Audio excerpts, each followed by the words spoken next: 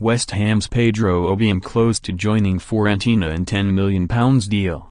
West Ham are close to agreeing a £10 million deal to sell Pedro Obiang to Fiorentina, according to Sky in Italy. The 26-year-old, who joined West Ham from Sampdoria in 2015, has made 17 appearances for Manuel Pellegrini's side this season.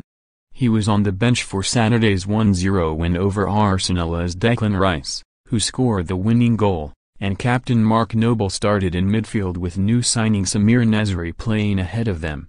It is understood West Ham would not be willing to part with Obiang without securing the replacement.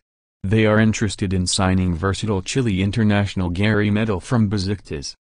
Jack Wilshere, who has made just five appearances since signing leaving Arsenal to join West Ham last summer, missed a win over his former side as he remains out with an ankle injury. Colombia international Carlos Sanchez is out for the season after injuring his knee in the Carabao Cup against Macclesfield in September. Predict 6 correct scores for your chance to win £250,000.